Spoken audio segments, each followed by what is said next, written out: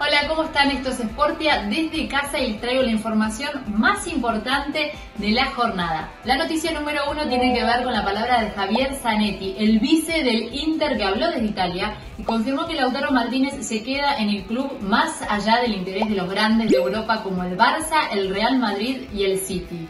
La noticia número 2 también llega desde Italia porque el primer ministro del país confirmó que la cuarentena obligatoria continúa firme hasta el 3 de mayo. Un día después, según el ministro de Deportes, podría restablecerse la actividad deportiva. Los entrenamientos en primera medida, recién para fines de mayo, se restablecería con normalidad la actividad deportiva, siempre teniendo en cuenta la prevención de salud correspondiente en medio de esta pandemia.